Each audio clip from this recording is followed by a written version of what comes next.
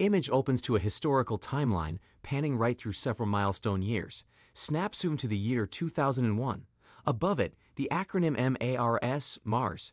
Then, in the top left-hand corner of the screen, the number 50 appears, next to the words Evolution and Innovation, LHNCBC at 50.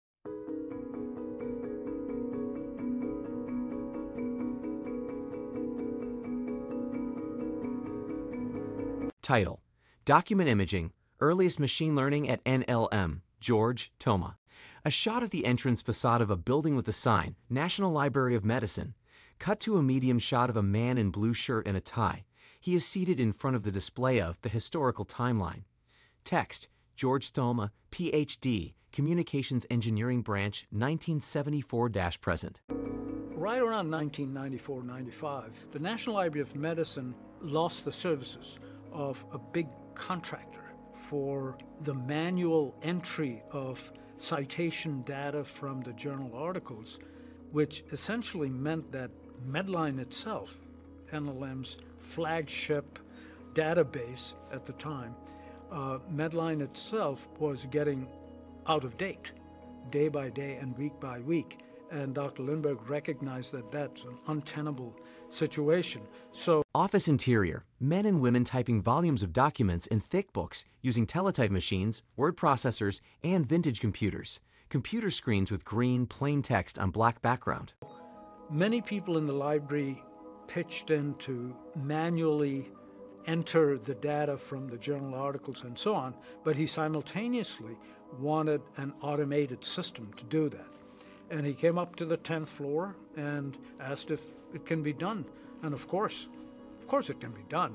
And so we built a system that we call Mars uh, that has lasted 22 years as of th- today. The acronym MARS appears on screen next to a shot of a computer monitor and a keyboard. The acronym turns into the words Medical Article Record System. And uh, uh, this is a system that extracts the citation data, author names, title, and so forth, in an automated way so that manual entry is not needed. A woman seated in front of a computer wearing a headset with a microphone. Close shot of a computer screen that has a graphic user interface.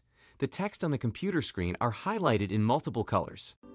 This is a the first example, as far as I can see, of machine learning used anywhere at NIH, uh, certainly at NLM. A page from a scientific paper recedes from view and fades into a composite background image that includes a computer circuit board, a desktop computer, and the words auto label and Mars database.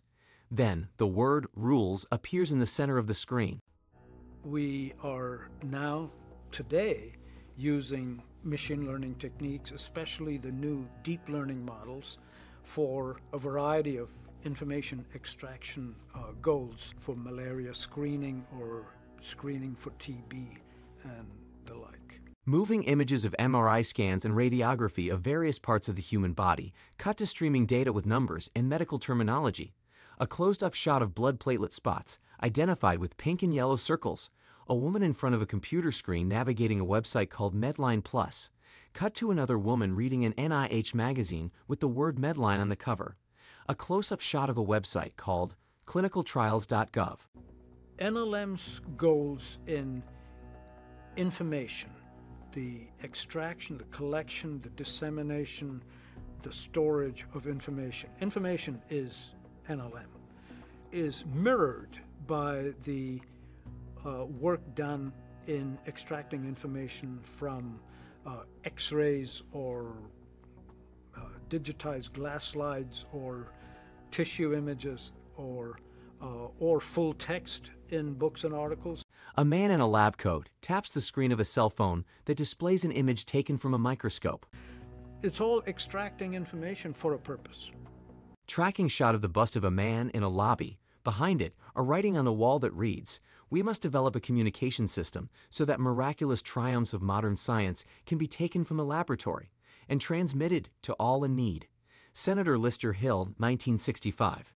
The Lister Hill Center's mission in that regard, I don't think, has vanished.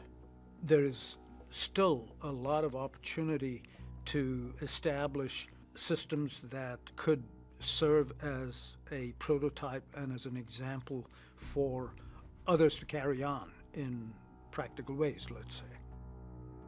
Shot of the historical timeline, zooming in to the text Mars 2001. Gradually, this image fades to black.